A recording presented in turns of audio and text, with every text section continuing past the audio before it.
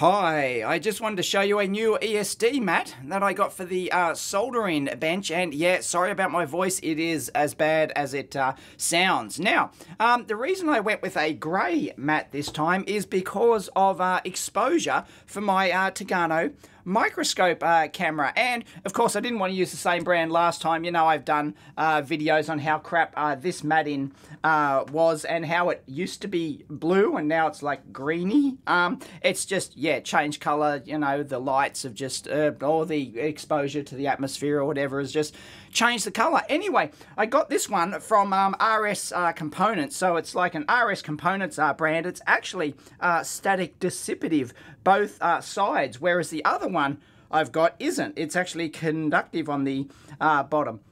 So this one has a conductive inner layer with static dissipative on the top. And yes, I've done a video how static dissipative is not conductive. So I might have to link that one in.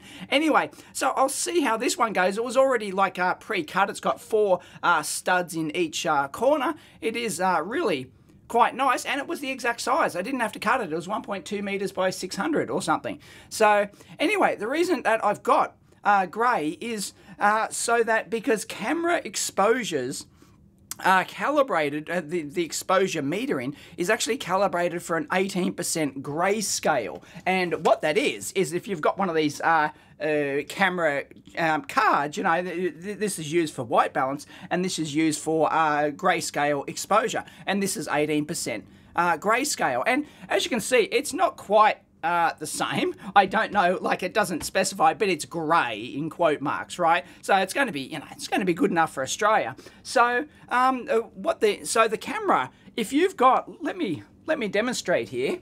Okay, what I'll do is I'll put down a black background on my camera, right? So I've got a black background like this. Now, you watch the image here, and Ready? As I put something in there, right, I've, I've got a board, something like that. You can see how the speaker is like overexposed. The speaker's like looks white. And if I put my pasty white hands in here, you can see that the exposure changes drastically when I put extra white in there, like that, right? So there's a huge difference in exposure. You can see the um, the poor old camera trying to go, whoa, that's that's the auto exposure mode. I mean, I can set manual exposure, of course, but you know, auto exposure is the one you want to use. And um, yeah, it's not that great. if you're trying to do something with a black background, and you know, so it's not that terrific. But if I remove the black, and now I've got the grey background like this, the exact same thing. The speaker is more exposed because the camera is uh,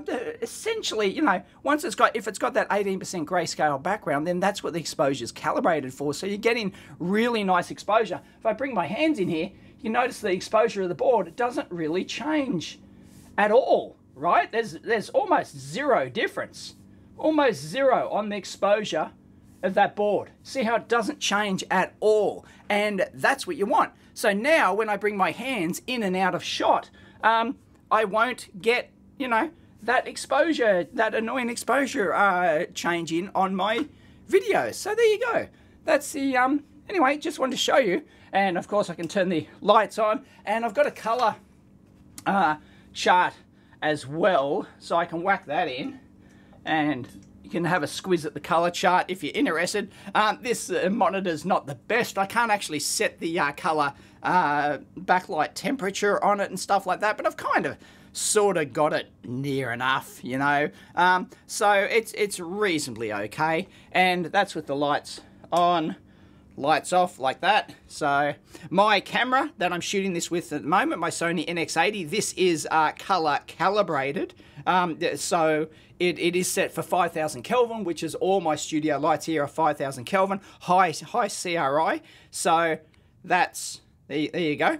So that should look pretty color accurate. I won't edit this. I'll turn on the internal light in the Tagarno microscope. Don't know, it's gonna, is that gonna appear better? Don't know. But anyway, there you go.